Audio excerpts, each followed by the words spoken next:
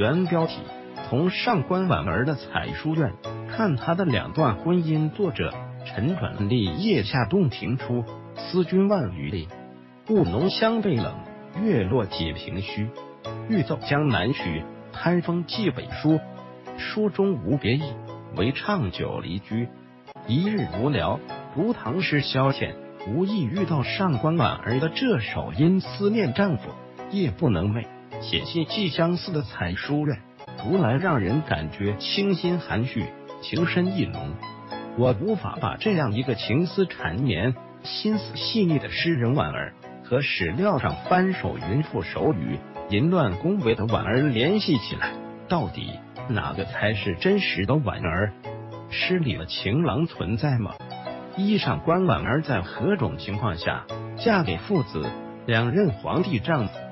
上官婉儿因祖父起草废武后诏书而被武则天灭九族，婉儿因是女孩，尚在襁褓之中，和母亲一起被送进掖庭为奴。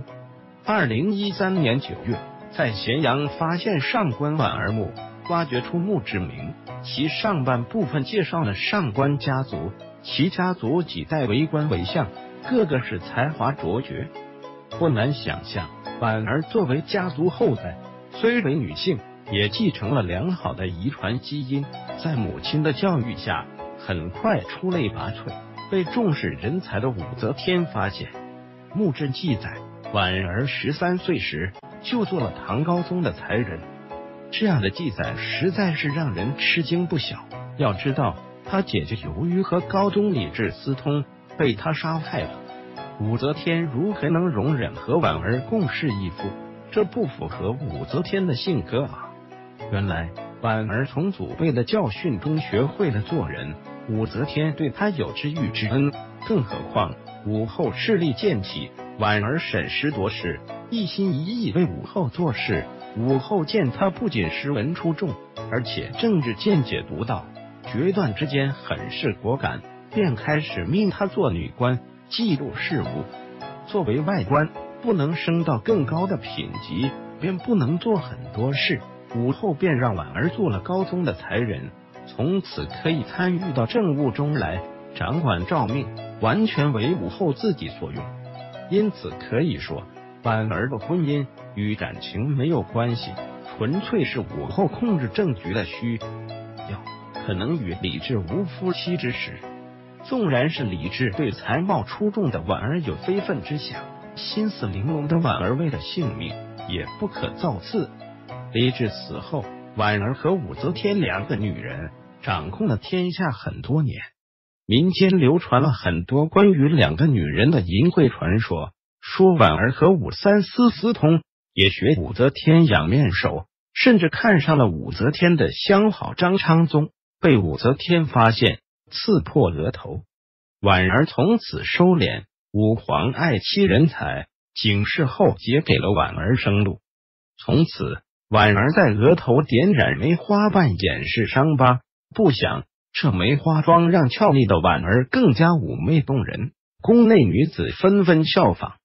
细细想来，婉儿和武三思也有可能。武三思面对花容月貌的婉儿，能不动心？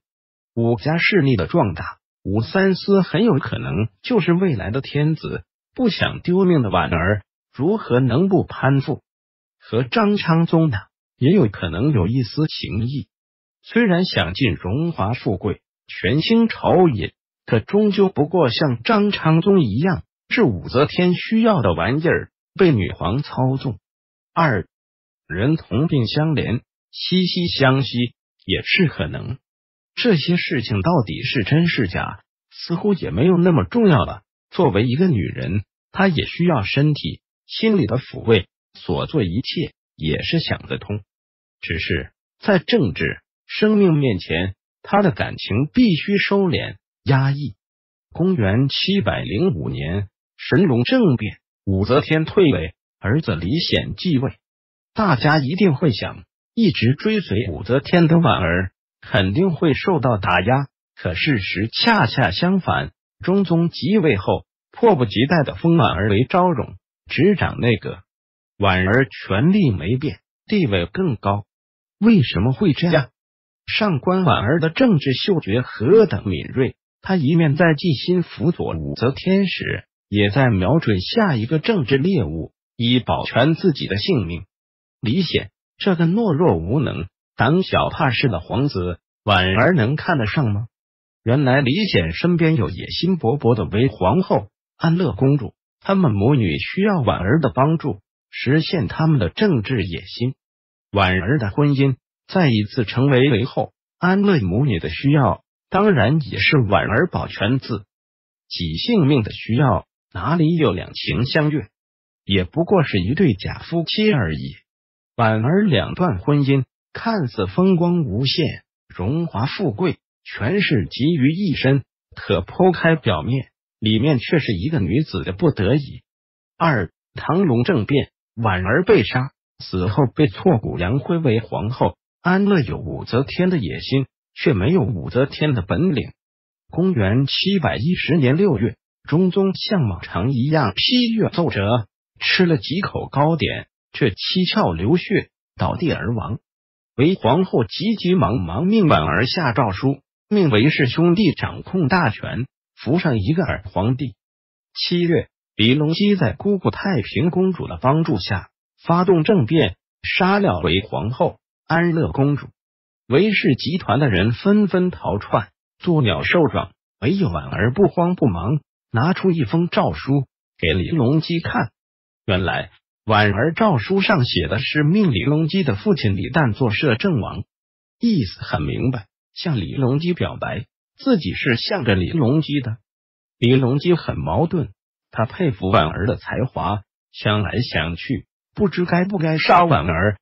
毕竟李隆基是有政治头脑的，他发现了太平公主与婉儿不寻常的交往，于是狠心杀了婉儿，用来警示姑姑太平公主不可造次。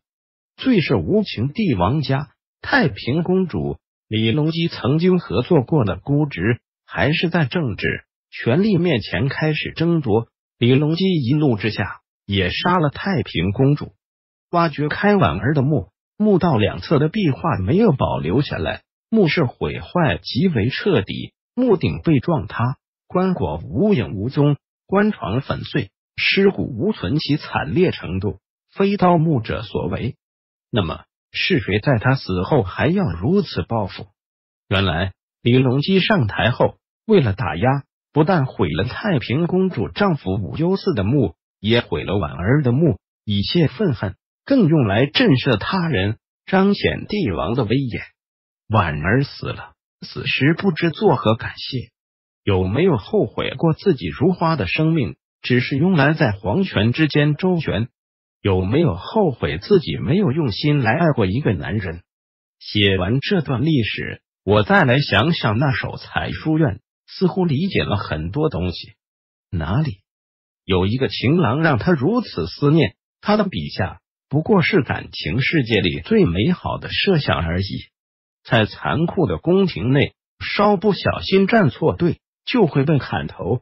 祖辈血的教训，让他明白时刻警惕，眼观六路，耳听八方，随时寻找自己的政治靠山，只为活下去。感情与他是奢侈品，只能在诗歌里是梦幻；政治才华与他是保命。失才才是真实的内心反应。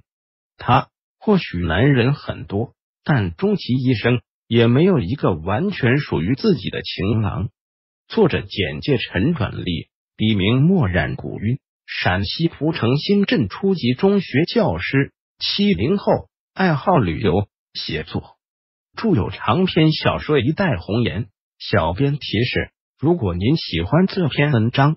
敬请转发和评论，返回搜狐查看更多责任编辑。